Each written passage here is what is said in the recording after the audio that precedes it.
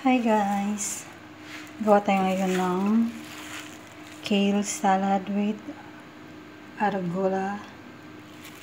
Ito yung baby kale. Ito yung arugula. Then meron tayong raisin. Merong walnuts. And pomegranate. Then lagyan natin siya ng avocado. Madali lang to siya. Kasi hinanda ko na.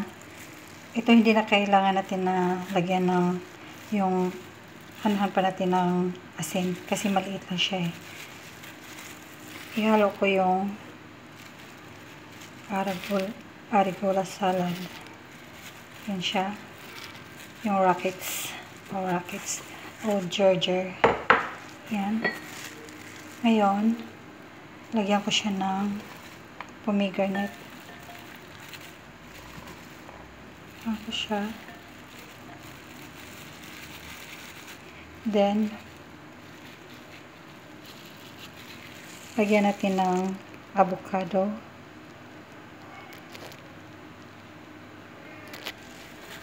Ayan siya guys. Lagyan natin yung pomegranate. Then, ito yung avocado. I-slice ko na siya. Lagyan natin. Yan lang. Tapos, lagyan natin ng walnuts. Yan. Yan siya.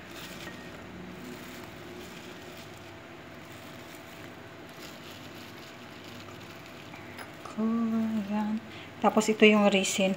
Inano ko siya, yung parang inano ko sa butter lang. Kaya mo rabag sa ngagon. Ano lang. Ano lang siya. Tapos, lagyan natin ng sesame seeds. Ito, lagyan ko siya ng black sesame seeds. Kunti lang. Yan. Ganyan lang siya. Tapos, yung dressing natin, ano ko siya ng lemon. Yan. Ano ko siya ng konting pepper. Black pepper.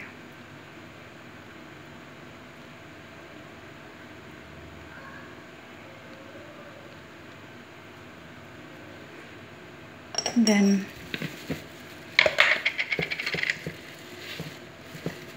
in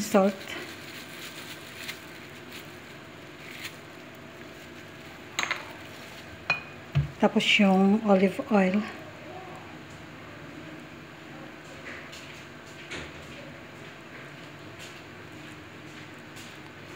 Kaya siya may ano, nilalagyan ko ng resin kasi mapakla yung yung kale at saka yung arugula. Kaya nilalagyan para magano yung blend yung sweetness niya. Kaya yan. Tapos na yung salad natin. I-try nyo to guys. Really nice. Yummy. So, please subscribe to my channel. Don't forget.